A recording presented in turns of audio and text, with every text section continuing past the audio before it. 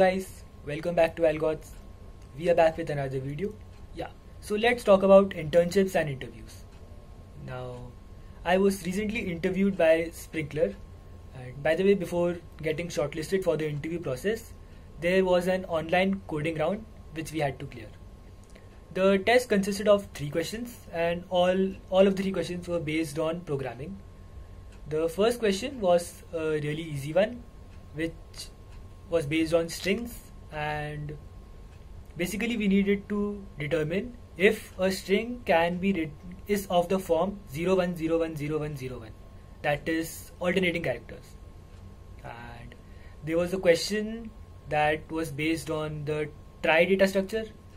And it was a pretty straightforward application of the basic basic functionalities of a trie like inserting a word into a trie like if you know how to insert a word into a trie and to check whether a word is present in our dictionary or to check if there are if if a word is a prefix of another word in a trie so this question was based on these basic operations of a trie so if you know about the trie data structure and how to implement it this question was straightforward there was another question in which we had to determine if a number could be written as the sum of powers of 3, 5 and 7.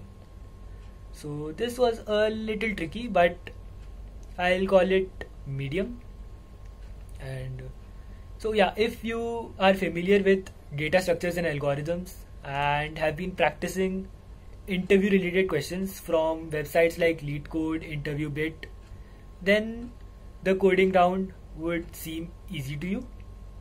And yeah we also we have also created a playlist for interview preparation as well. You can find it on our channel or yeah i'll post the link in the description as well. So that might help you. And now let's move on to the interview session. So the interviews were all virtual this time because of the ongoing pandemic and all and I had to sit for three rounds of interviews, but this was not fixed for everybody. Like some people gave four rounds of interviews, and some even had to sit for five rounds of interviews. So this was not really fixed. And yeah, an important factor having a couple of decent projects on your resume is a really a big is really a huge advantage for you. Like the majority of my first two rounds were based on my project we had a really very detailed discussion on our project for about 20 30 minutes. And yeah. So having a few good projects on your resume means that you should be really well versed with everything that you have done and how it has been implemented. And and you also need to know some new know things about the basic idea behind the problem that is really being solved the discussion was really detailed and it was like we are we are building the project once again during the interview. So of course hundreds of hundreds of questions can be posed on a good project but you'll be able to answer all of them. That's the good part because you've made the project so you know everything about it. So this is a huge advantage. Now moving on to the next part there were there was a puzzle that was uh, that I was asked during the interview, and it was based on finding a defective coin among nine coins, and by comparing their weights, the defective coin had a different weight or something like that. So this was the puzzle, and I was also asked a question that was quite similar to the egg drop problem. It was a variant of the egg drop problem, not exactly the egg drop problem. So that was a tough one. I feel the egg drop problem can cause trouble sometimes. So I took a lot of time here and was stuck at places and I even asked for help from the interviewers. So this was a tough question for me and it was more of like a discussion than me solving it. Now there was another question. The other questions were easy. One was based on uh, one was a simple question re- regarding BSTs, so that was good. So there was another question, and you can refer to our video video that uh, that's titled "Rearrange Array Alternatively." the question was similar to that question. It was not exactly that question, but if you watch the video, you'll be able to solve that question as well. So the link for that video is given in the description below. So it would be good if you check that out and we might even come up with a solution for the egg drop problem in future not the variant but the egg drop problem in future. So stay tuned to our channel. And now coming to another important part of the interview.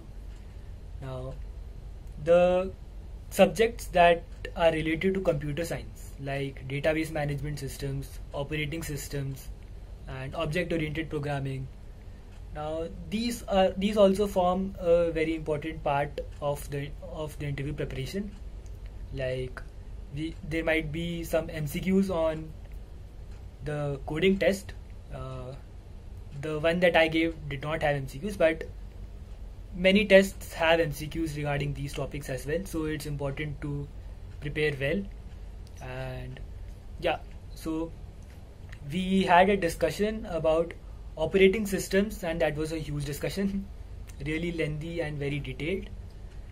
And so these topics are really important.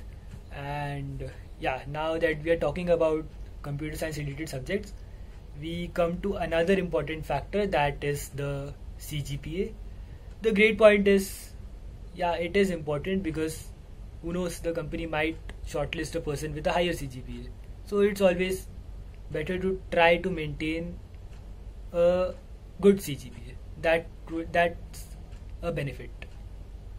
So yeah, now the third round was more of uh, I think it consisted of behavioral type questions in which they were they were judging my behavior on how I would react to various situations and stuff like that. So that was not so much of technical round. So these were my three rounds of interviews, and these were the questions that these were the this was the basic idea of how the interviews went, and yeah. So to prepare well for your interview, you must be well versed with computer science related subjects like DBMS, OOPS, data structures, and operating systems, and practice a lot of questions from interview preparation sites. We have our interview preparation playlist for you as well, which you can check out in the description below. And uh, it's also good to to keep participating in contests relating to pro- contests related to programming because that keeps your brain focused on programming as well and yeah remember about the projects part that was really important so yeah at last if you like this video then share it among all your friends or those whom you think would benefit from watching this video. And subscribe to our channel alGOds and we have a linkedin page now and you can follow us there. And uh, you can join our telegram groups if you have any doubts. You will find all the links in the description below. So all the best for your interviews and thank you for watching this video